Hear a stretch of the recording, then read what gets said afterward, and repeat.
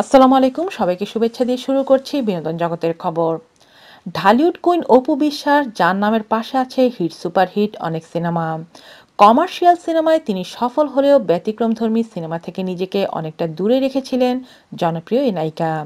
এবার পরপর দুটি ভিন্ন ধারার সিনেমায় ধরা দিলেন তিনি। বন্ধন বিশ্বাস পরিচালিত, ছায়াবৃক্ষ এবং সারিয়া নাজিম জয় পরিচালিত, প্রিয় কমলা। দুটি সিনেমায় নায়ক থাকছেন চিত্রনায়ক নীরব এবং বাপ্পি চৌধুরী। অপু বলেন গ্লামার দিয়ে নিজেকে যেমন প্রমাণ করেছেন, তেমনি জাত অভিনেত্রী হিসেবে তাকে অন্য এক রূপে পাবে দর্শক। ইন্ডাস্ট্রির প্রয়োজনে একসময় বছরে বারো থেকে তেরোটি সিনেমাও করতে হয়েছে অপু বিশ্বাসকে। যার কারণে ভিন্নধর্মী সিনেমায় নিজেকে মেলে ধরতে পারেননি। এখন সে সুযোগ পেয়েই লুফে নিলেন পরপর দুটি সিনেমা। ইতিমধ্যে ছায়াবৃক্ষের কিছুদিনের কাজ বাকি থাকলেও সারিয়া নাজিম জয় পরিচালিত প্রিয় কমলা সিনেমা শুটিং শেষ করেছেন।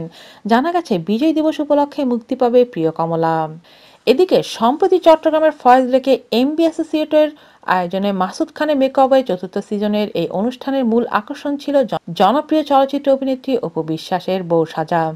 রেজিস্ট্রেশন প্রক্রিয়ার মাধ্যমে অনেক প্রতিযোগীর মধ্যে যাচাই বাছাই করে বিশ জন ব্রাইড এবং বিশ জন মেকআপ আর্টিস্টে এতে নির্বাচিত হয়ে অংশগ্রহণ করেন।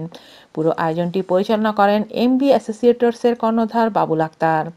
ব্রাইড হিসেবে অংশগ্রহণ করে অনুভূতি ব্যক্ত করতে গিয়ে অপু বিশ্বাস বলেন প্রথমে এমবি অ্যাসোসিয়েটসকে সাধুবাদ জানায় যে তারা এমন একটি উদ্যোগ গ্রহণ করেছে।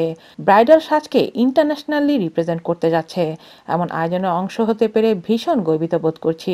পরের সিজনগুলোর জন্য শুভকামনা রইল। আজ এ পর্যন্তই, ভালো থাকবেন সবাই। আল্লাহ হাফিজ।